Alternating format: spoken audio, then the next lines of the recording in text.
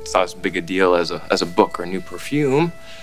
But uh, maybe I could get Chancecom to run a story on Dina, you know, a tribute.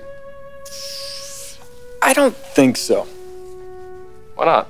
She wouldn't want anything that would exploit her or the family. I don't know. Why would you assume that we would do that? I've seen the kind of stuff Chancecom publishes. No, you've read the Adam Newman story. That's not entirely representative of what we do. This would be positive. Something the whole family could be proud of. And it would raise awareness for Alzheimer's research. I like it, Theo. Thank you. Dina has provided inspiration both big and small. But more importantly, we have strengthened the Abbott family bond. And that's the kind of tribute that would mean the most to her.